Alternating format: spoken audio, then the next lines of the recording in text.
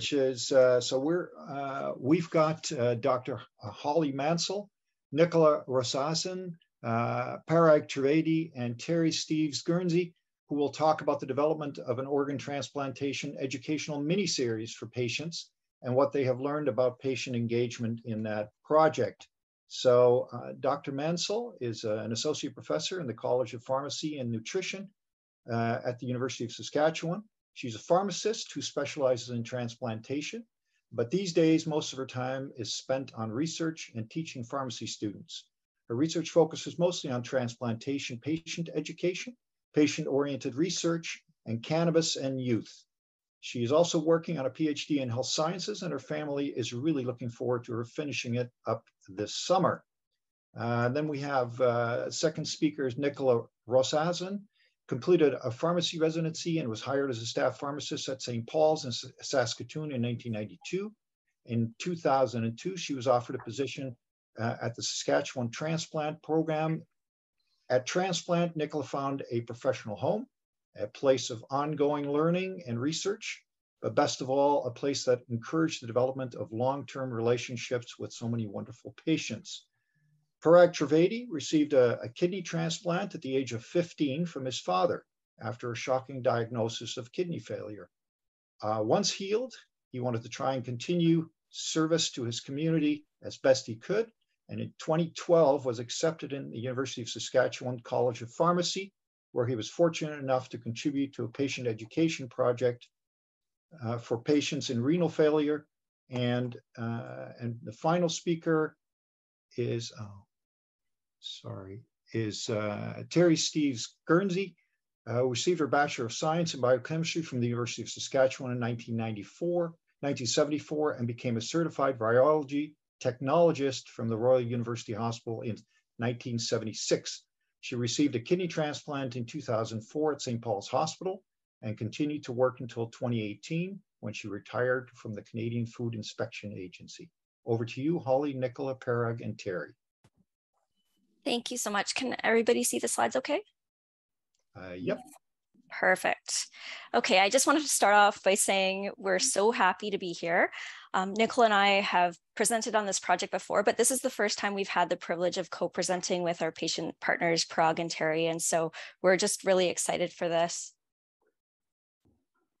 So uh, I also want to start off by saying that we are joining you here today from Treaty 6 territory and Treaty 4 territory in the homeland of the Métis.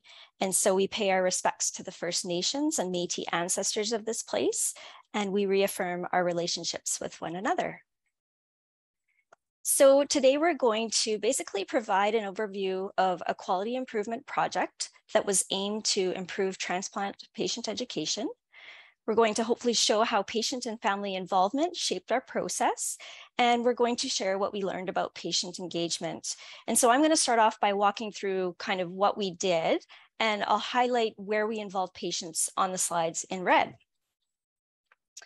And so the project that we're talking today really stemmed from a need that we were seeing in clinical practice. And as mentioned in the bios, Nicola and I are both pharmacists, and we were doing a lot of medication discharge teaching for patients after they had received their kidney transplant and before they were going home from the hospital. And obviously, this is a really stressful time and there's a lot of new information to learn. But nevertheless, we were pretty surprised at the amount of patients that were surprised that they had to take their anti rejection medications for life. And I've included a couple of quotes here which highlight the problem. So the first one do I have to take these medications forever? We used to hear this all the time. And the second, because I couldn't read worth a darned, I fully didn't understand. It was the pig to the poke. And so that is just tragic.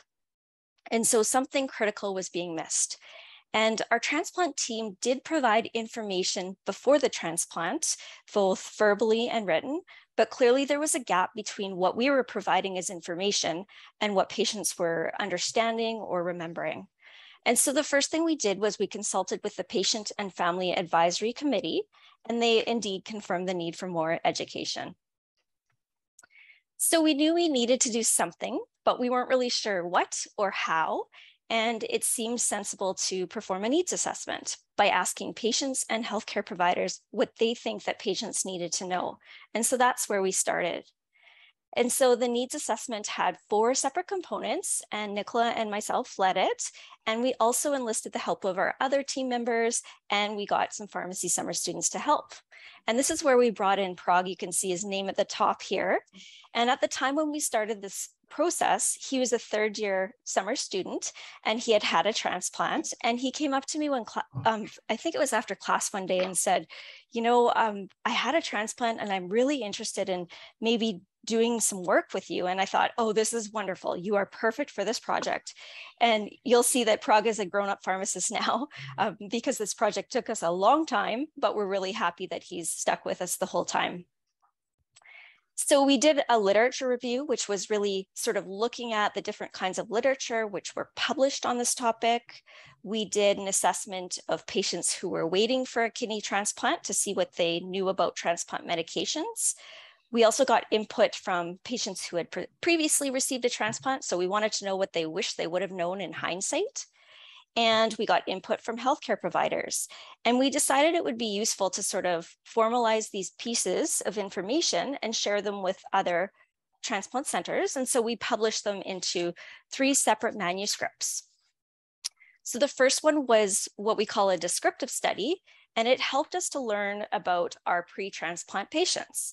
And all of the patients were invited to participate and we collected some information about where they live, their age, and their language, and whether or not they had access to different sorts of technology like the internet. And we were surprised and, and happy that over 90% did actually. And so another thing we did is we asked them to share their thoughts freely.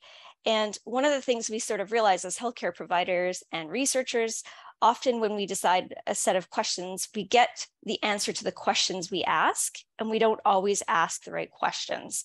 And so we had a lot of open ended places for patients to, to share their thoughts freely and tell us how they felt.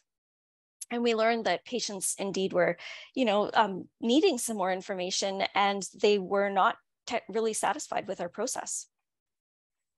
And so the next thing we did was a focus group with patients who had received a transplant, again, to, to sort of learn what they wish they would have known in hindsight. And at this point, Nicola and I thought that our videos would really be about medications, but this group of patients really just taught us so much more. We learned that medications were just a small part of the problem, and patients wanted to know about the testing. They couldn't understand all of the tests. They wanted to know about the wait list and the surgery and the recovery. And this is really where our project got blown up. And instead of becoming a project just about medications, it really became a project about the entire transplant process. So then we went on to sort of interview healthcare providers. And instead of Nicola and I doing these interviews, we thought it would be much better to have our patient partner, Paraag, jump in and to sort of do these questions to help people feel more comfortable answering them likewise. And Paraag conducted the interviews and he was instrumental in completing this part of the project. And you can see he's even first author on our paper here. And um, the surprising thing to us was that this study with healthcare providers really mirrored what we were seeing with patients. They needed more information about the whole process. And so why video?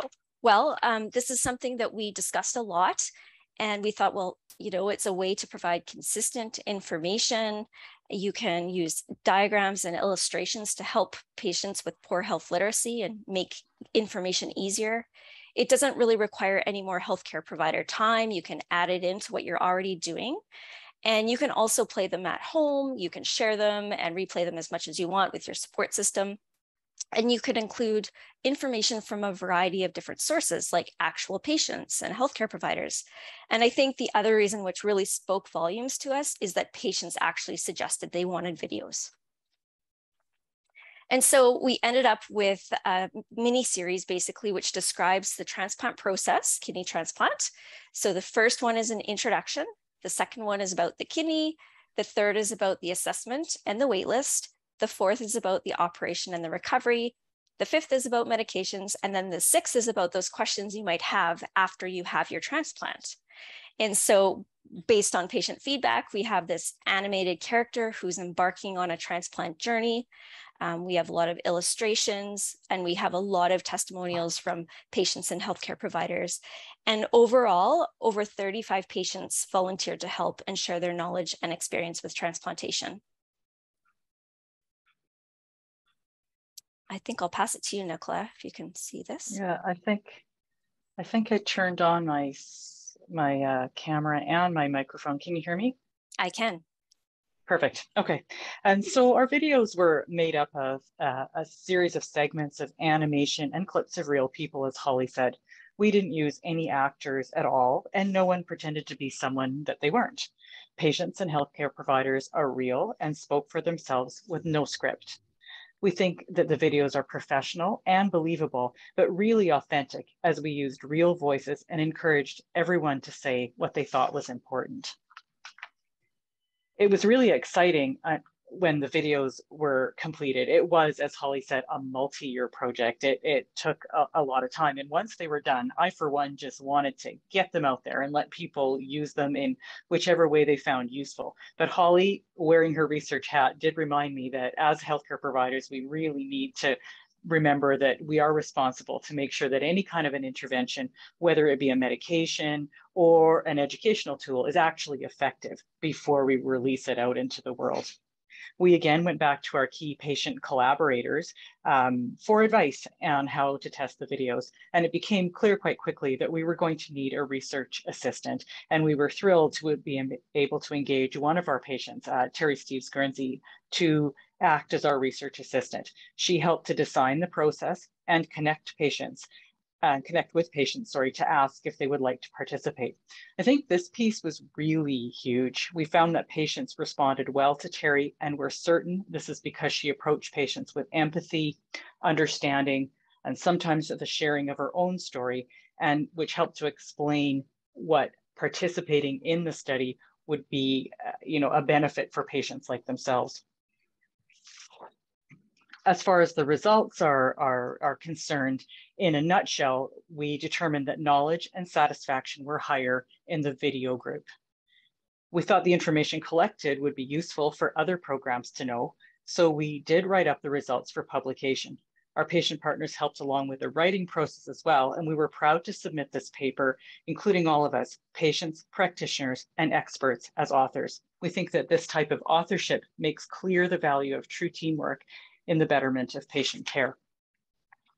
In Saskatchewan, we have implemented the video series into the assessment process. Patients receive a letter inviting them to view the videos immediately after they are referred for transplant assessment. The invitation letter includes both a video link and a QR code, and letters are sent via email or by regular mail, uh, depending on patient preference. So far, there have been 130 letters sent from our Saskatoon office, and there have been very positive comments from patients. patients have been happy to receive the education. They felt they were uh, better understanding the process before they entered into it after watching the videos. They were happy the videos could be repeated and watched over and over again as many times as necessary and shared with family and friends. We've obviously had patients with a couple of issues with respect um, to technicalities. Um, one patient did have a language barrier and ended up having a family member watch and translate for her um, as she spoke only Mandarin. And one patient did have difficulty with a QR code, which she sorted out by calling her granddaughter.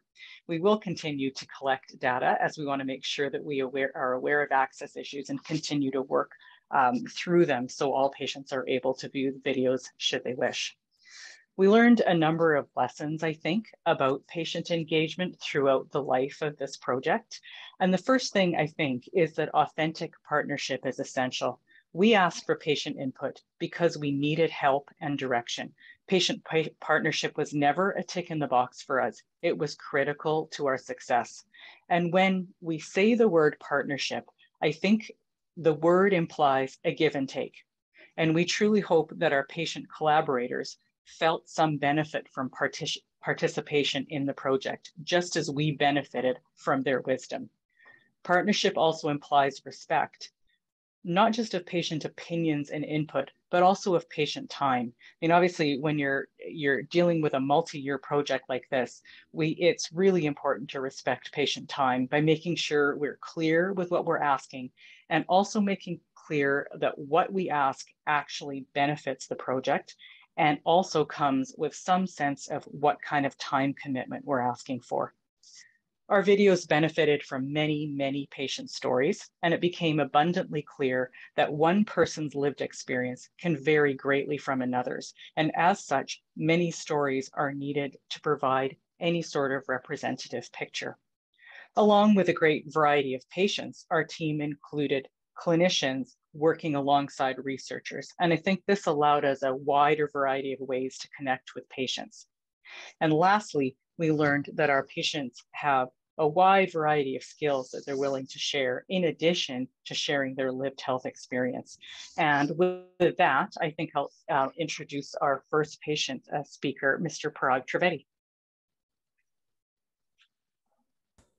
Okay, so uh, good morning, everyone. Um, as I as the slide says, everything in life is about stewardship. So um, Saskatchewan's a very you know small place, and uh, the healthcare system's a very tight knit community. Um, so as Holly had mentioned, I crossed paths with her when I was in pharmacy school. I had crossed paths with Nicola. She was my pharmacist when I went through all of this uh, some time ago as a patient. And um, so why why did I get involved? It's it's it's that stewardship piece that uh, what I went through in my life is, uh, and what any transplant patient or their family will go through, it's a very significant thing.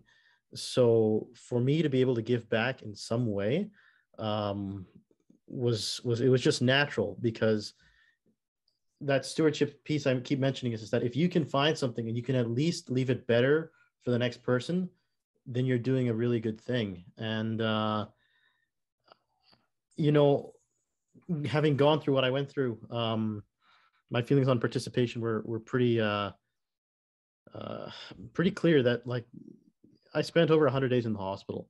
Um, I was very young when all of this happened to me, so it was it was in a way very cathartic for me to uh, to give back, um, having in what I kind of looked at taken uh, so much from. And so you, when you're sitting in that hospital bed, you kind of learn, well, this really worked really well. I learned really well from this. And you kind of also see that, well, this could have been a little bit better. I wish I had known more about this um, going on. So in some way, it was uh, a little bit therapeutic. So we'll hop over to uh, the next slide here and um, kind of talk about what the project got out of it. Um, we've mentioned quite a bit about this partnership concept and this model. Uh, the way I always look at it is, is if you make something for an audience, you might do well, but unless you know what your audience is seeing and what your audience wants, you're not going to ever get the full picture. So I was very fortunate that as a young transplant patient, and then kind of crossing into becoming a healthcare provider, I could kind of see just about any angle of this. And from my patient side, especially, I thought it was really important that, you know, being able to kind of provide that um, that sense of information to your your fellow transplant patient would be huge. Um, what did I get out of it? Well, I was a pharmacy student and I got credit hours out of it. I got my name on a paper before I graduated, um, and I got to do a lot of cool things. So I remember walking around the very same hospital that I'd been hospitalized in, a lot of the time on the same ward, even in the same rooms that I had been a patient in, with the camera on the tripod over uh, tripod over my shoulders, with all the camera gear and recording stuff, plonking it down, setting it up, and having honest conversations with patients, their families, and their providers. Um, which I mean, like, how cool is that? Uh, so you see there, there's a picture. There was one day where I remember Holly came to my office and says, "What are you doing at three o'clock this morning?" And I, I was like, "It's the middle of the summer. It's like a midweek day. I'm probably going to be sleeping, nothing much. How about meeting a plane with a donor organ coming in uh, from the west coast?" And I was like, "Yeah, sure." So uh, it's something you only kind of see in like movies or TV. But I got to meet the plane. I got to film parts of the surgery. I got to scrub in and all of that so that's that's just a really uh, a really neat thing and and the last thing i'll kind of answer about what i got out of this as a patient was is that uh, it is like i said it's a significant health event and um, being a transplant patient is is uh, something that you can either let define you or you can define that transplant patient spot. And I am the kind of person that I don't want to be defined by what experience I've lived through, but I can use that to define what I can do with the rest of my life. So I had my second shot at life when I was like 16. Uh, and I'm here, thankfully, I've been able to do a lot with my with my gift of life, and I wanted to pay it forward. With that, I'm gonna pass it off to Terry. Um, Terry had just retired from her job at the uh, Canadian Food Inspection Agency, and she had mentioned to Nicola that she was looking forward to having more time to get involved with other projects. Serendipitously, uh, the team was looking for research assistant at that time. Terry had completed the Tri-Council research training modules and helped enroll patients with the uh, follow-up in uh, video evaluation. She recruited patients to participate in the study, explained the consent process, helped those that were interested in completing the baseline survey to begin the uh, study. Her ability to relate with the patients and provide support and encouragement was a great benefit not only to the study, but also for the patients and their families at the beginning of their transplant journey. So I'll pass it off now to Terry. And just, uh, just a friendly five minute uh, reminder. Thanks, Terry. Good morning, and thank you very much for those kind words. Um, I was honored to be a research assistant for the transplant program for this study. I hope to give back something for everything this program has given me and continues to give me. Um, so my role was to initially to mail out introductory letters about the study. Um, I would meet the patients in clinics in Saskatoon and Regina and ask if they'd like to participate in the study. If they were interested, they could do the questionnaire at clinic or at home through a secure link. Um, I really enjoyed meeting, oh yes, I'm sorry. Uh, I noticed that my interaction with the study participants, when I shared my the fact that I had a kidney transplant, some of the study pers, participants seemed to be more comfortable talking to me and asking questions. Interacting with the staff, as busy as they were, uh, they were just so helpful, both at the dial dialysis centers and at the clinics, and went out of their way to help me find patients. Doing the survey, participants were able to do surveys at home, which they appreciated sometimes after spending a long day at dialysis or at the clinic. The younger tech savvy patients were able to go through the survey at lightning speed, while the non tech savvy patients, like myself, needed more assistance. The videos, the participants that were in the group that viewed the videos were impressed with the animation and found the information very easily absorbed. Technology, well, um, sometimes we had iPad connection issues which caused delays, but they could often be fixed on the go with the help from Nicola and Holly. Language and medical terminology. English was not always the participants' first language, and they required help during the study. There were a few incidents where participants had issues understanding medical term- terminology. One young man asked me what impotence was. The patient lists were not always accurate, but the staff was always quick to let me know of any changes. Thank you very much. So just to wrap up here, we have completed our video um, series for kidney transplant patients, and then some lung patients who volunteered with the Lung Association, now called Lung Sask in Saskatchewan, reached out to us about doing something for lung patients as well. And so with the help of Lung Saskatchewan, this project took on a new life of its own and involved new patient partnerships and a new needs assessment and new consultations with patients and caregivers. And so once again, we had various patients involved in various capacities right through from conception to evaluation. And we've also received funding. We're happy to report to continue the work in the pediatric space. And we're working with a mother of a kidney transplant recipient to help us get this project underway. And then just to finish up, they say it takes a village. And this has definitely been our experience with this project. And it's been our greatest pleasure to work with so many patients and so many stakeholders.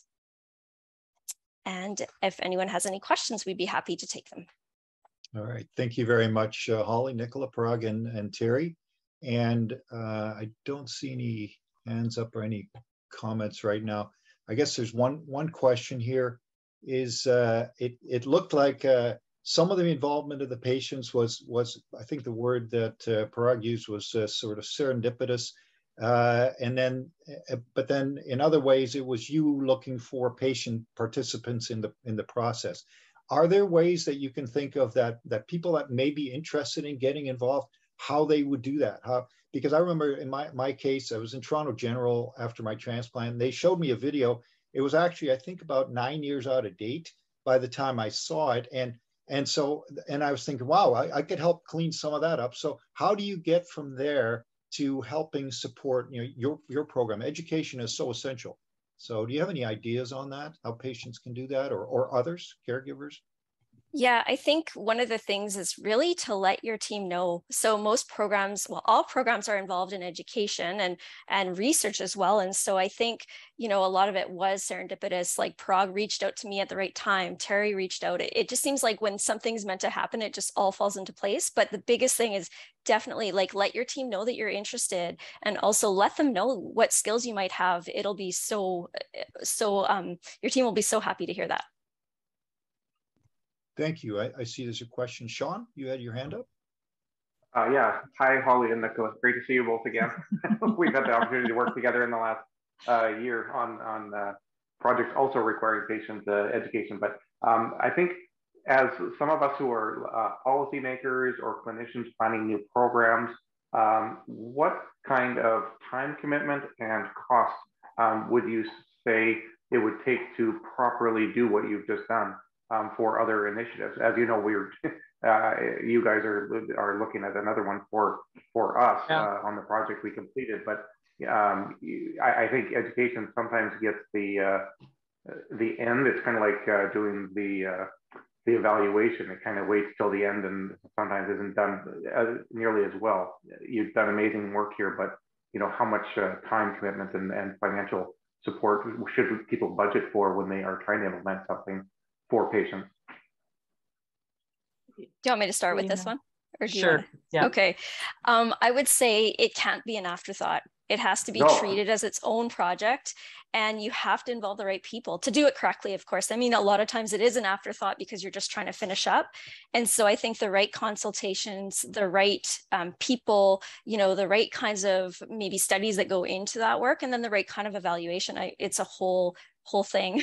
um, so that didn't answer your cost question. I think it well, depends on what exactly you're looking for, how and, long it might be. Probably, yeah. And probably who you have involved, I guess. Because I think from our perspective, our costs were, I mean, Holly's got a better sense of, of, of what the videos cost. We paid for um, very little of what you see. I think we paid for the tip of the iceberg. Um, yeah. A lot of the work that was done, you know, that Holly and I did, we we did as essentially volunteer time, as well as you know a couple of our colleagues here at the program.